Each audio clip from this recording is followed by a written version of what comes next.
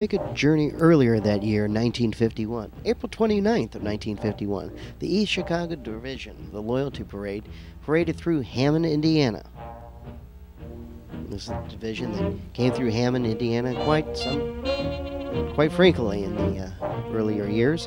You've seen them in other past productions. And check out this float near Harrison Park. See the beautiful houses in that time in 1951, and shots of Hohman Avenue. 1951.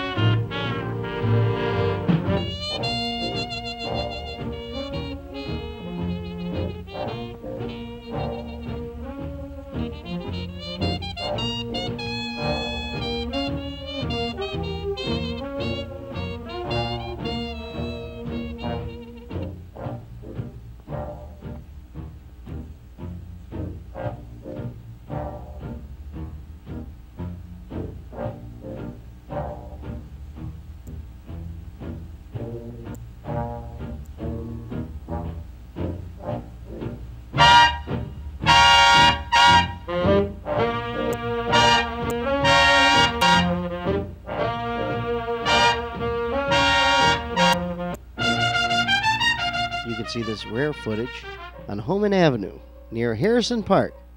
Thanks for joining us for this great journey of 1951. You've seen the Centennial Parade. We thought we'd throw this one in there for our Loyalty Parade happening earlier that year, April 29th, 1951. Enjoy all the historical videos that WTV Broadcast Network has to offer you. Local history of Northwest Indiana.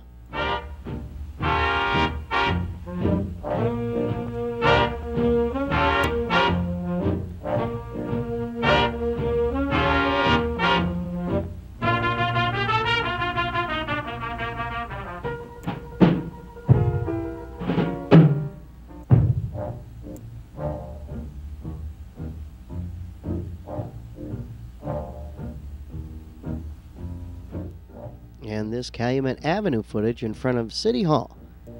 Thanks a lot for joining us for this tour of 1951 Hammond Centennial Parade.